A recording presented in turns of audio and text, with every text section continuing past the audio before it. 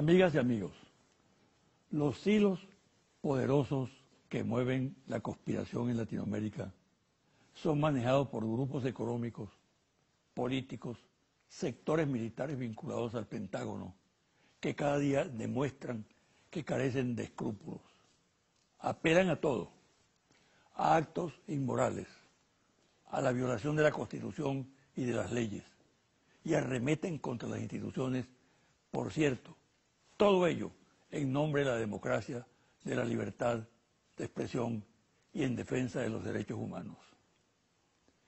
Pero son los mismos que años atrás apoyaron el Plan Cóndor, concebido y ejecutado por organismos de inteligencia de los Estados Unidos que asesinaron, torturaron, desaparecieron a miles y miles de personas en Chile, Paraguay, Uruguay, Argentina, Bolivia, Brasil.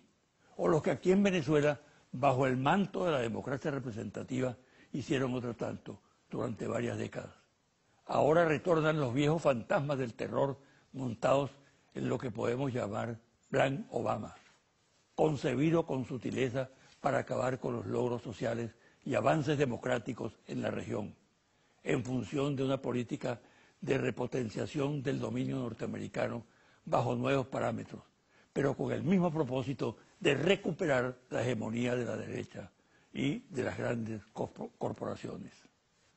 Se trata de la política que derrocó a Zelaya vía Parlamento en Honduras, que repitió la fórmula en Paraguay con el golpe contra Fernando Lugo y que con una devastadora campaña mediática de descrédito del kirchnerismo alcanzó la victoria con Mauricio Macri, quien desde el momento en que tomó posesión del cargo de presidente comenzó a aplicar una política salvaje de aumento desmedido de las tarifas de servicios básicos como electricidad, agua, el gas, y emprendió una política brutal de despidos y disparó la inflación.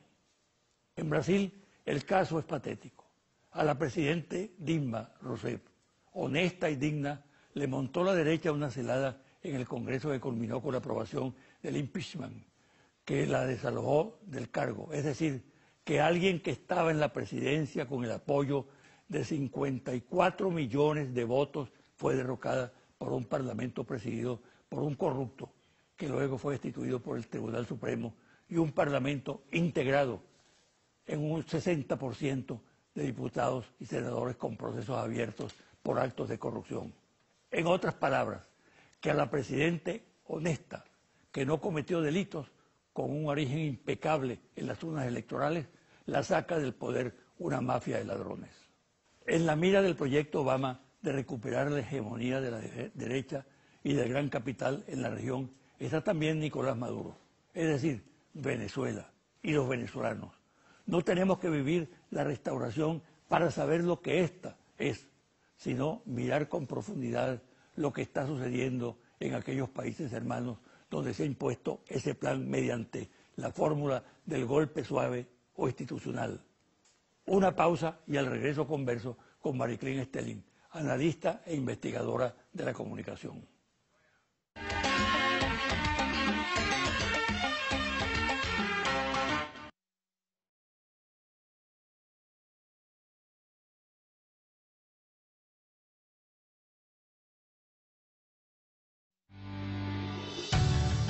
Estás viendo José Vicente Hoy.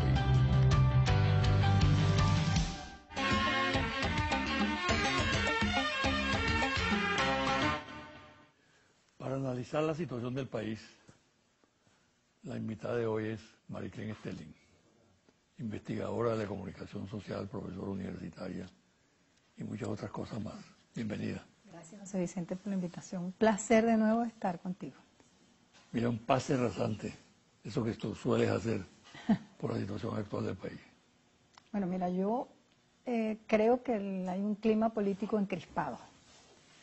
Eh, ¿Qué significa eso, encrispado? Encrispado, alterado. Yo, si yo le pusiera un termómetro al país, el país está con fiebre altísima y hay como una crispación, un, una agresividad en, el ambiente, un, desgaste y un cansancio. Pero fíjate que los venezolanos se crispan, pero no llegan a los. No, yo creo que, bueno, eso es algo que tiene asombrado al mundo entero, que nosotros no hemos llegado a esta violencia física, porque tenemos una serie de válvulas de escape que la hemos trabajado aquí últimamente.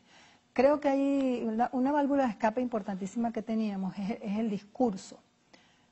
En mi opinión, hay un desgaste ahorita en el discurso ¿Tú político. analizado eso en tus artículos? Sí, lo estoy trabajando. Hay un desgaste en el discurso político. eh, hay un. lo- ¿Qué es lo que, qué es lo que caracteriza ese desgaste? Es un discurso político, primero es un discurso político y, el- y- y me estoy refiriendo también al discurso de los políticos y también incluyo al discurso, al, al discurso mediático.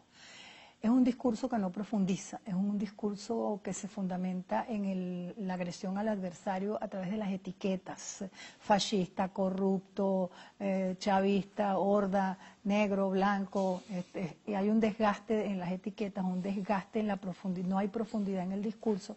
Por ejemplo, la confrontación que hay en torno al papel de la Asamblea y las leyes que se están aprobando, los proyectos de ley y las leyes que se están aprobando en la Asamblea el- desde el lado, digamos, oficial no se profundiza en, en- en los efectos que podían tener en esas leyes. Nos quedamos en la ley de amnesia, la ley del fraude, este, y se cree que con eso se está como venciendo al adversario. Yo Pero creo que la hace falta... que, la, cae- está en la que misma... elabora tampoco las publicita. Por eso, ¿no? por eso cuando digo que hay un desgaste del discurso me refiero que no es de un solo lado, que hay un desgaste en el discurso político del país, de los adversarios políticos. Yo creo que eso hay que revisarlo. Pero ¿Tú Recuerda, no crees que, aparte del desgaste del discurso de los políticos, en general el discurso está muy deteriorado? Porque tú escuchas a los sectores económicos Claro, y el también. mismo tema, ¿no? también. Ah, escuchas a la iglesia igual, ¿no? Sí, pero como yo analizo el discurso político y creo que hay un clima político de, de Ah. crispamiento y creo que el país necesita como profundizar en la crisis política que estamos viviendo, porque estamos viviendo una crisis política. Eh, no solo es económica, es una crisis política profunda de redefiniciones.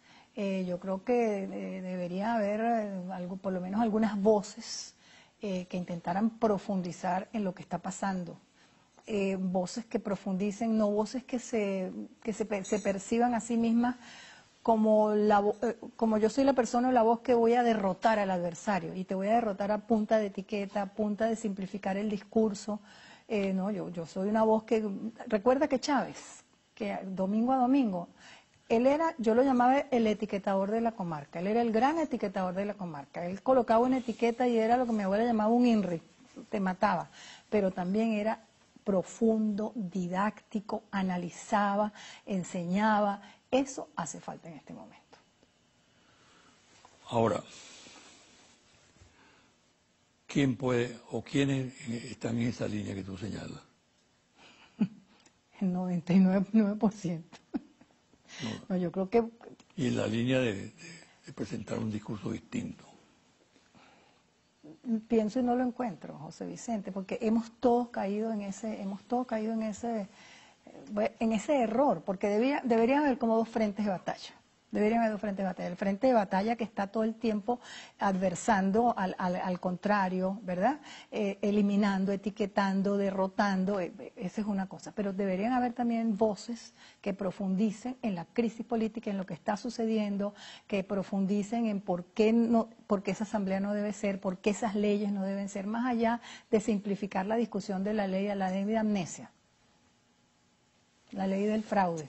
Eso simplifica lo que está por detrás. Entonces yo creo que deberían haber, eh, tú, tú en tus columnas eres una persona que estás trabajando más profundamente. Eleazar de Rangel yo diría que es otra persona que está trabajando. Estelle. Y bueno, y yo que me estoy dedicando como al discurso político últimamente porque estoy muy preocupada por el nivel tan superficial, en serio, del discurso político. ¿Qué fallas observas tú en el discurso del chavismo? El discurso del chavismo. Yo diría que el discurso del chavismo, eh, yo voy a utilizar una palabra que no sé si es la correcta, es un discurso que se, que se inicia y finaliza en un discurso guerrero, guerrero. Se, se perciben como guerreros. Yo entiendo que hay un, aquí hay una guerra muerte, es así, estamos en una guerra muerte.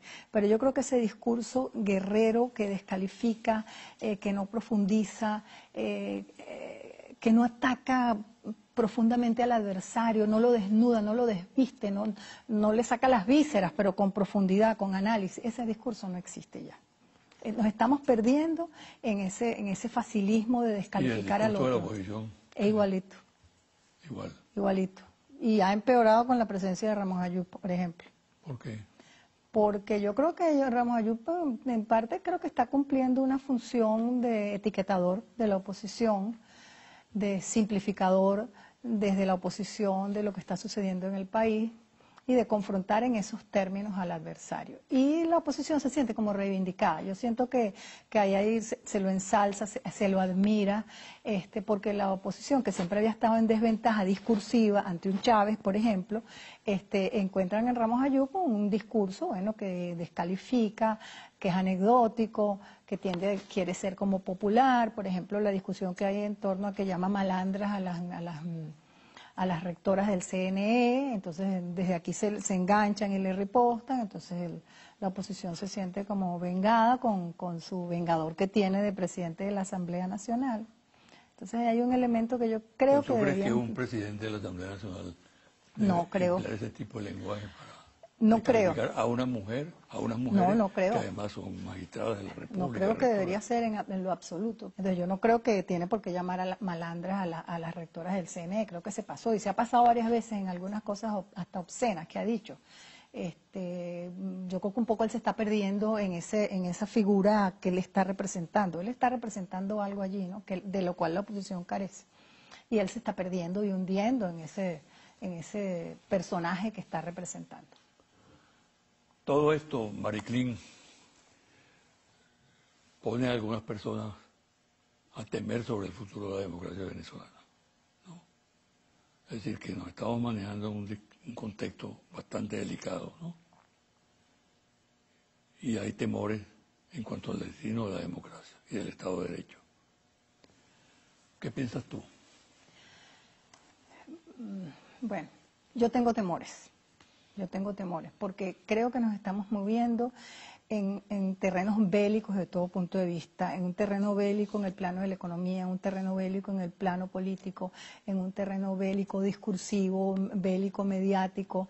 Eh, creo que quizás hasta de alguna manera estamos perdiendo la perspectiva de lo que es el- la convivencia en una democracia. Yo creo que hay una suerte de perversión en la que hemos caído todos y todas en este momento.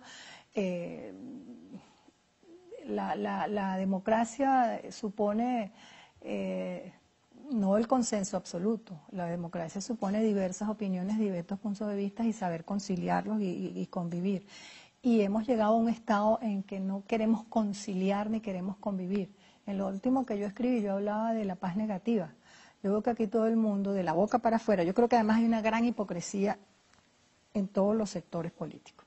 Hay una gran hipocresía porque todo el mundo que te destruyo como mi adversario desde todo punto de vista, como pueda te destruyo, pero a la vez digo yo quiero paz y diálogo, debemos dialogar y debe haber paz en el país. Eso, eso no es un invento mío, eso lo leí en algo que, que estaba consultando, la paz negativa.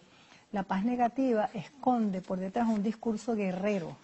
El discurso guerrero es aquel discurso que dice quiero paz, pero te quiero destruir y quiero la paz en mis propios términos. Y en este momento los dos sectores políticos hablan de dialogar, hablan de querer la paz, pero desde mis propios términos. Y creo que en este momento en Venezuela va a ser muy difícil encontrar términos comunes para dialogar, para construir la paz. En ese sentido creo que estamos perdiendo las perspectivas, nosotros internamente las perspectivas democráticas. Por otro lado, ese golpismo que hay por allí, esa violencia que, estaba represada, que está de nuevo saliendo, fundamentalmente desde la oposición, la represión que tienen que ejercer las fuerzas del orden, porque tiene que ser así.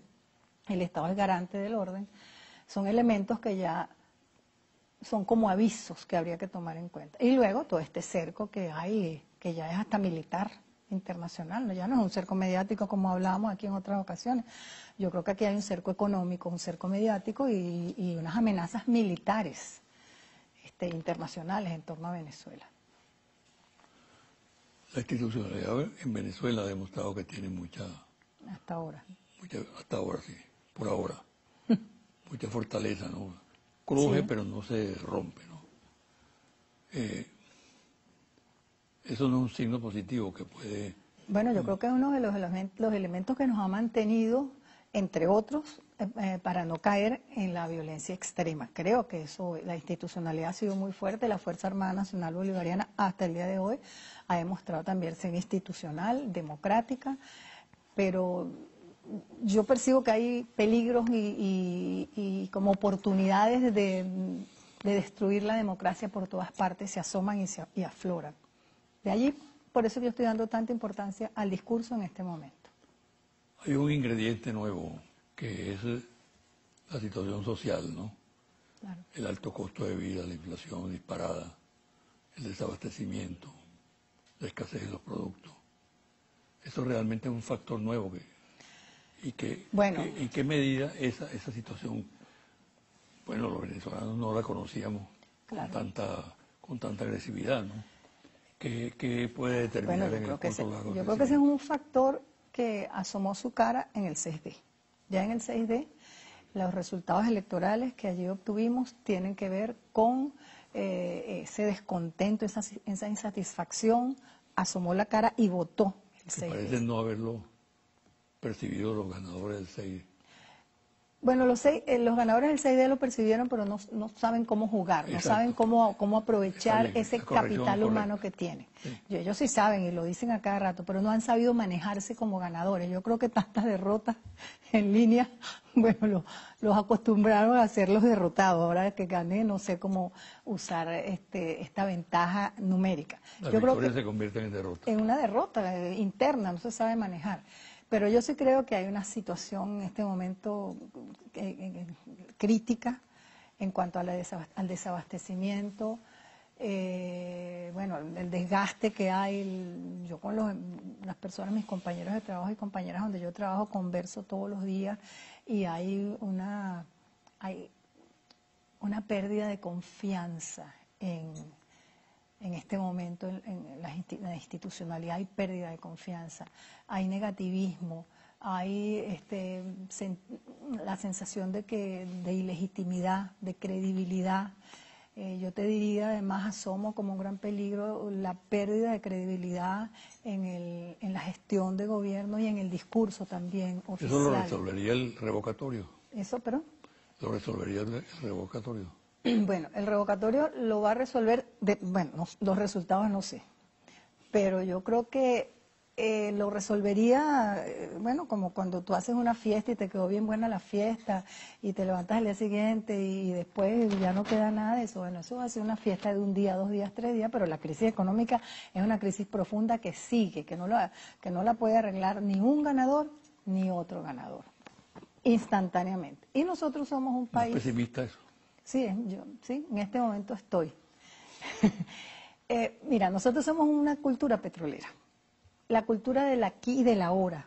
De aquí y el ahora, la, la cultura de lo instantáneo, la cultura como que del facilismo, el petróleo resuelve los problemas de Venezuela sin mi concurso y resulta que ese, ese concepto del Estado mágico, proveedor, eso se nos está desbaratando. Entonces el momento político de credibilidades y de legitimidad, yo creo que aquí está sucediendo lo mismo que sucedió en los 80 y 90, que yo digo que se fracturaron las credibilidades y las legitimidades. Ahorita que hay una fractura importante que tiene que ver con credibilidad y legitimidad.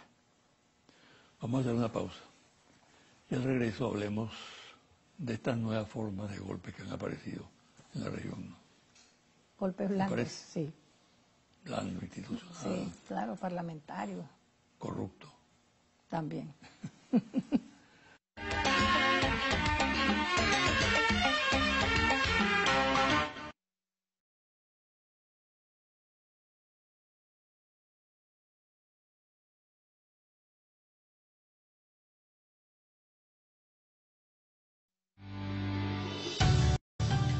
Estás viendo José Vicente Hoy.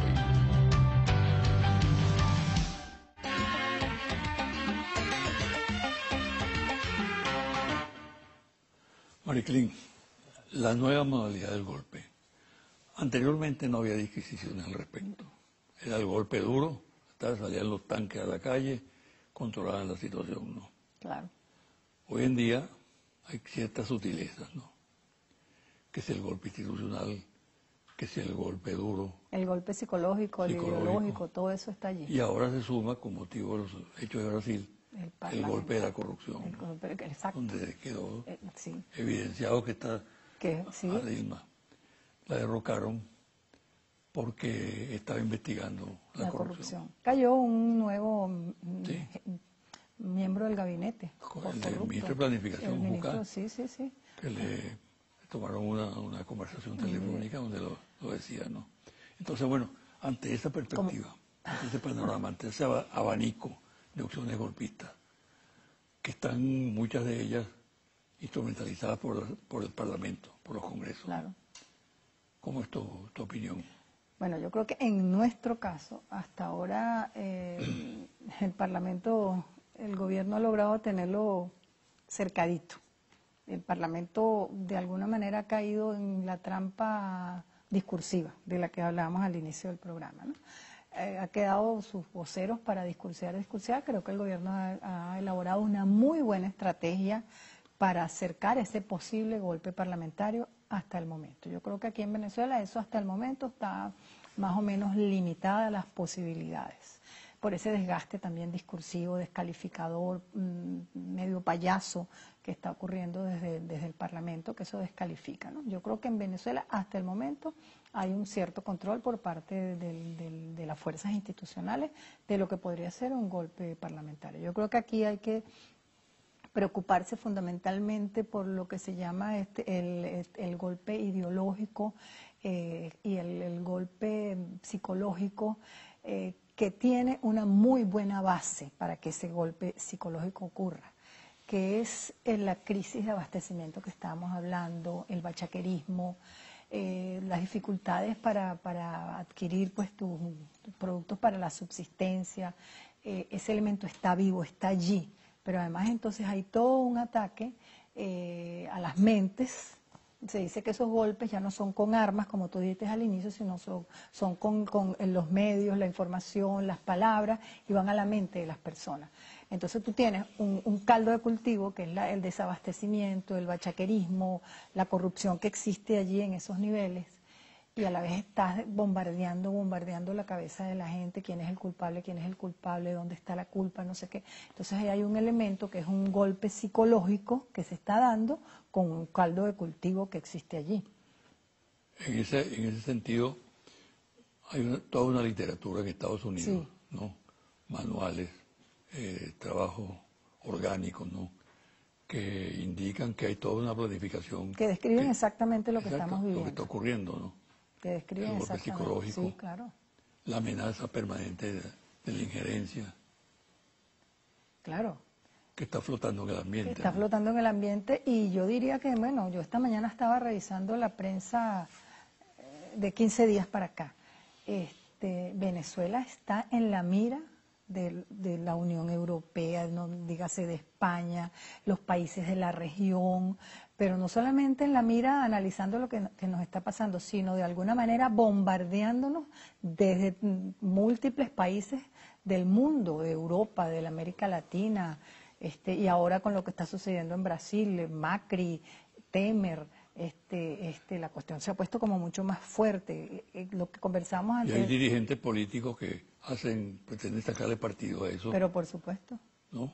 Hay una noticia de Macri que quiere este, ayudar al diálogo en Venezuela. Macri, que tiene prendido a la Argentina. El españolito este que nos visitó en estos Eh, días. Albert Rivera.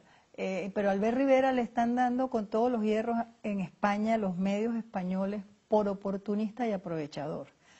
Este, así como hay una foto de él desnuda, pues los medios españoles lo están desnudando y atacando porque se dice que el Ciudadanos, el Partido Ciudadano está ahorita en declive, está bajando y él vino a buscar como un aliento a Venezuela y viendo a ver si con su visita aquí, el recibimiento que le hicieron, el que le hizo la oposición en Maiquetía, de alguna manera él consigue energía recupera. recupera y va allá y ataca Podemos, por- porque a Podemos lo están atacando mucho por los supuestos nexos con Chávez, la plata que supuestamente recibió, están descalificando mucho a Podemos, pero Podemos ha ido subiendo.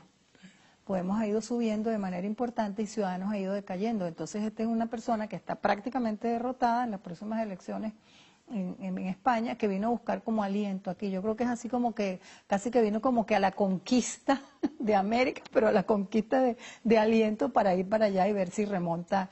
Es un oportunismo absoluto. Lo mismo de Rodríguez Zapatero que ha venido, también lo han criticado allá, dicen que inclusive políticos ya un poco deteriorados en su imagen, que no tuvieron muy buena figuración, están viniendo a América a alimentarse, sobre todo a Venezuela, a buscar en energía. concreto, los ataques a Venezuela y esas incursiones no dan ranking.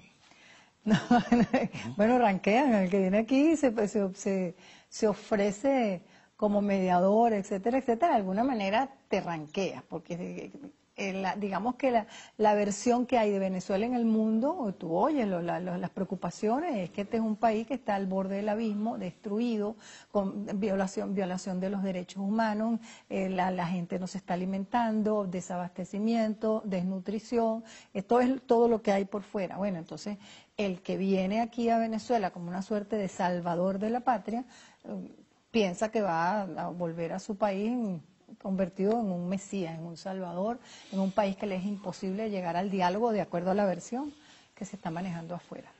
Pero el Papa hizo una muy buena participación esta semana, una buena incursión. Siempre he creído, aunque yo creo que en una democracia es fundamental la oposición, siempre he defendido que haya una oposición coherente, seria, responsable en Venezuela.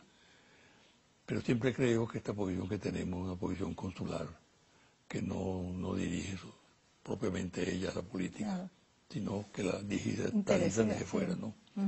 Y en este sentido es muy, muy elocuente lo que está pasando, por ejemplo, con la solicitud de la aplicación de la Carta Democrática por parte de la OEA de la Asamblea Nacional y de un grupo de parlamentarios. Ya, ya, ya elaboraron el documento y fueron ¿Qué piensas tú de eso?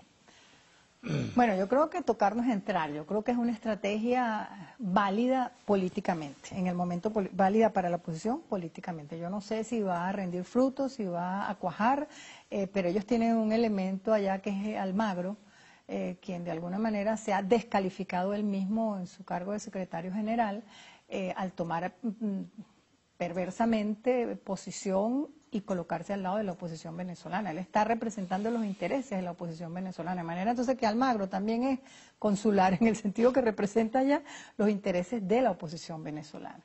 Entonces esa carta democrática que la oposición está llevando se la está llevando a un miembro de la mafia, de la mafia oposicionista, que es Almagro. Sobre el mismo tema, si no prosperan los intentos que hay de diálogo, lo llamamos al diálogo, donde por cierto el presidente Maduro ha sido muy insistente, donde está el aporte del Papa Francisco también, que por cierto no se corresponde con la actitud que mantiene la... A eso iba. Sí, que mantiene la... Sí. La iglesia venezolana. La iglesia venezolana. La conferencia episcopal. Sí, la conferencia, fundamentalmente la conferencia, ¿no? Y no cuajan esos esfuerzos ¿Qué puede pasar?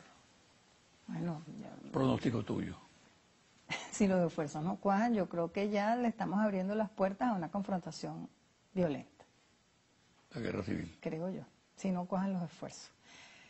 Eh, hasta el momento, siempre lo digo aquí en todos los espacios que puedo, los venezolanos y las venezolanas hemos encontrado válvulas de escape y hemos alargado muchísimo una situación que en otros países ya hubiera habido una guerra una guerra civil hubiera ocurrido. En este caso nosotros hemos encontrado válvulas de escape. Yo tengo la sensación de que esas válvulas de escape ya no nos están sirviendo de escape por la crisis económica más la crisis política y yo diría que hay también crisis de valores crisis de valores, porque algo que no hemos trabajado aquí es lo que está sucediendo, eh, lo que yo llamé hiperanomia, en algo que escribí.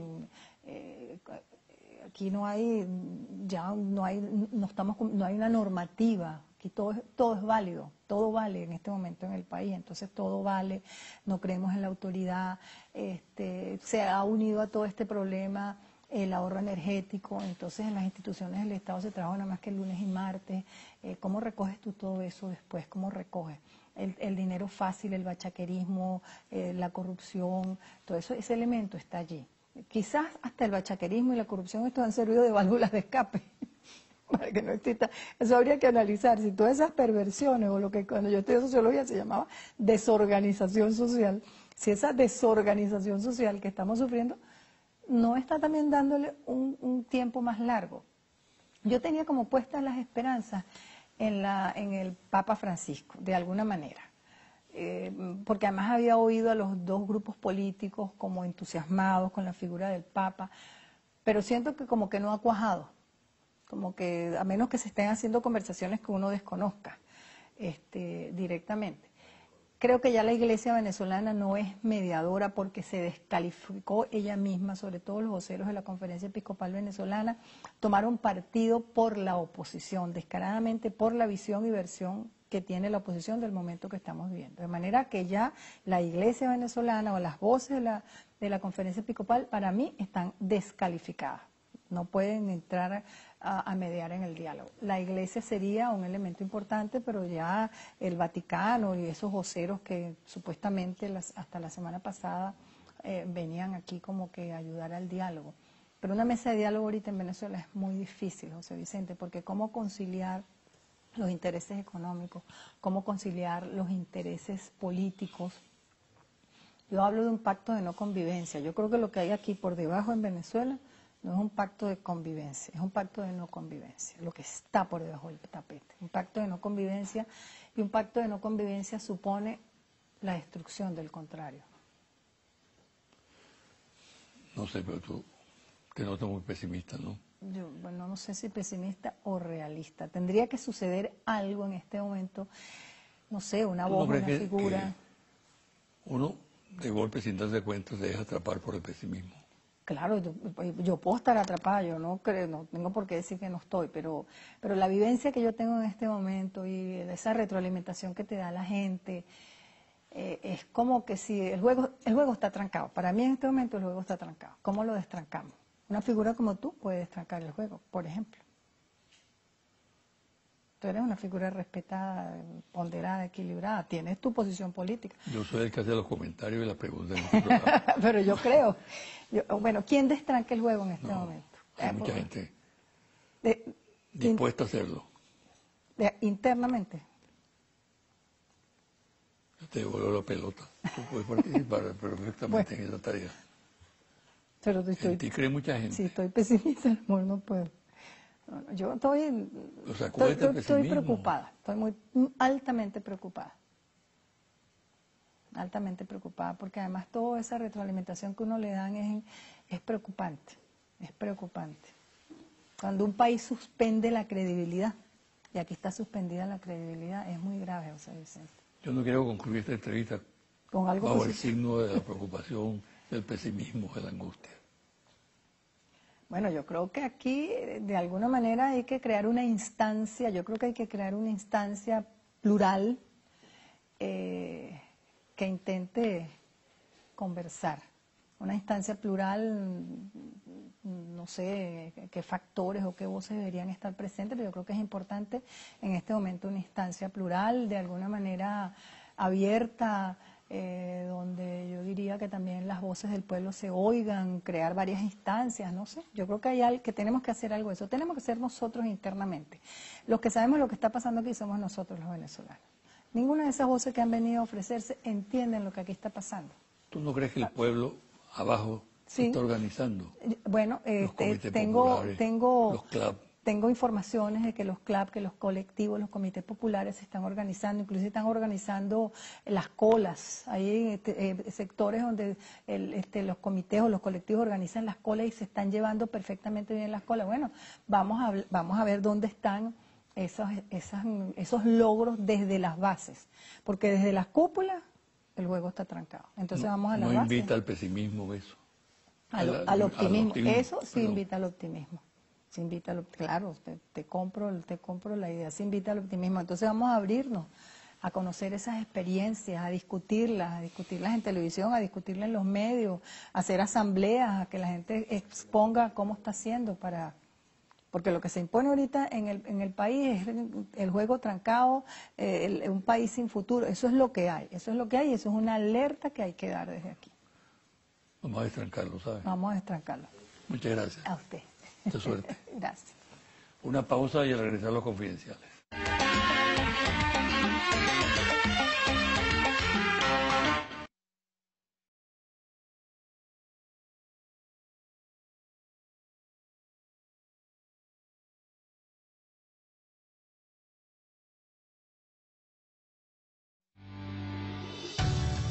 Estás viendo José Vicente hoy.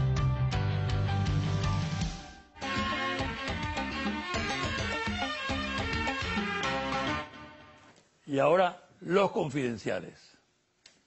La táctica de un sector de la MUD de estimular el calentamiento de la calle, que es parte del paquete de la versión golpista del revocatorio, está provocando serias discrepancias en el seno de la alianza. La manera como fueron agredidas las funcionarias policiales en la marcha del pasado miércoles 18, ataque a las residencias estudiantiles, Livia Gubernet, y otros actos de violencia que se sucedieron en los estados Mérida y Carabobo, en la misma fecha, dispararon las alarmas internas. En el análisis de esta situación, hecho por el alto mando opositor, se consideró en primer término que esa tendencia encarnaba una especie de renacer de la política de la salida, que como recuerda el país desató la violencia en los primeros meses del año 2014, con saldo de víctimas y destrucción de instalaciones públicas. Al mismo tiempo, esa política aisló al movimiento oposicionista debido al repudio que generó en la opinión pública. La reacción interna en sectores de la MUD es de repudio a la salida 2 o la guarimba en su segunda versión, lo cual plantea un conflicto que cobra cada día más fuerza. Se trata de que los que controlan la calle son precisamente los que comandan las acciones violentas, como es el caso del partido de Leopoldo López, Voluntad Popular, y de otros grupos sobre los que existe un precario control. Esta situación planteada en el campo de la oposición es asumida con preocupación por Ramos Ayú, por dirigentes de Un Nuevo Tiempo y Capriles Radowski y Primero Justicia, con el propósito de ejercer control. Sin embargo, en la conducción del movimiento que recomienda moderación y no incurrir en acciones violentas durante las manifestaciones, hay diferencias que responden a la lucha por el liderazgo entre Ramos Ayub y Capriles. Y también aparece una fisura entre Borges y Capriles. La diplomática norteamericana Liliana Ayalde era embajadora de los Estados Unidos en Paraguay cuando fue derrocado el presidente Fernando Lugo a través del golpe parlamentario. Curiosamente, la misma embajadora de los Estados Unidos ejerce actualmente el cargo en Brasil, en momentos en que se produce el golpe parlamentario contra la presidente Dilma Rousseff. Sin duda, pura coincidencia. En un grupo de analistas políticos se examinaba la situación en la región y se colocaba el énfasis en el planteamiento del expresidente colombiano Álvaro Uribe en el evento efectuado en Miami con la presencia de figuras internacionales de la derecha y del secretario general de la OEA, Luis Almagro, de formar un ejército para ponerlo a la orden de la oposición venezolana y derrocar al presidente Nicolás Maduro. En la reunión hubo coincidencia en que la propuesta de Uribe no era original que simplemente era una repetición de la iniciativa de la CIA de conformar una fuerza entrenada, expedicionaria, en Centroamérica, integrada por mercenarios que invadieran a Cuba con el apoyo del gobierno norteamericano. Cerca de 3.000 efectivos formaron parte de la fuerza que desembarcó en Playa Girón, Bahía de Cochinos, y fue derrotada por el ejército cubano dirigido personalmente por Fidel Castro. El recordatorio es interesante.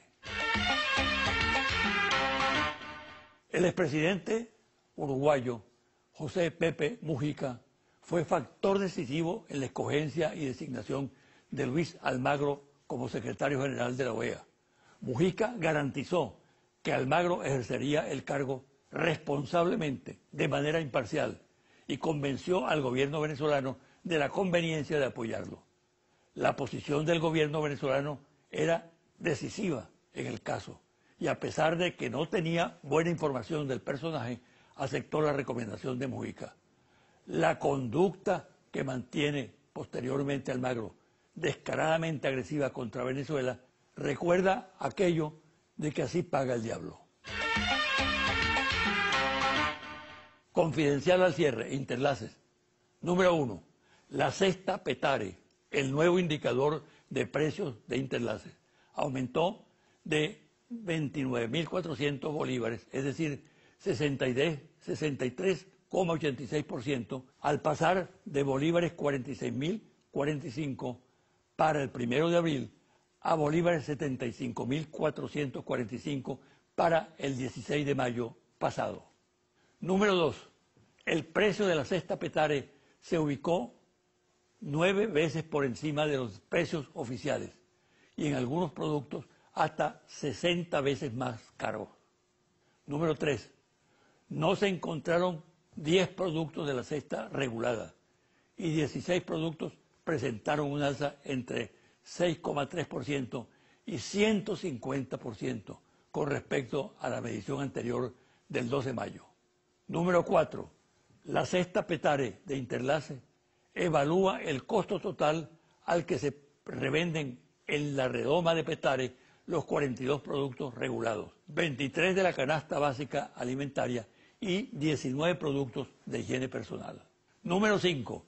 Por otro lado, el índice de desabastecimiento en hogares que realiza cada mes Interlace señala que para el pasado mes de abril 59,63% del total de los 42 productos regulados no se encontraron en los hogares venezolanos, porque no se consiguen y porque ya no se pueden comprar debido a su elevado precio. Hasta aquí el programa de hoy. Me despido hasta el próximo domingo a las 9 de la mañana por este su canal Televen.